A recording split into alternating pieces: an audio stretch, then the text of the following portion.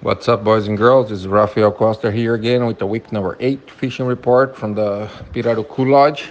So this week we have our good friend Gustavo came all the way from Uruguay to catch some of the biggest arapaima in the world. He did an amazing job.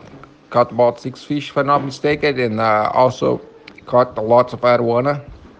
He fished with us for only three days, and after this, he decided to stay to do some bird watching and uh, wildlife photography.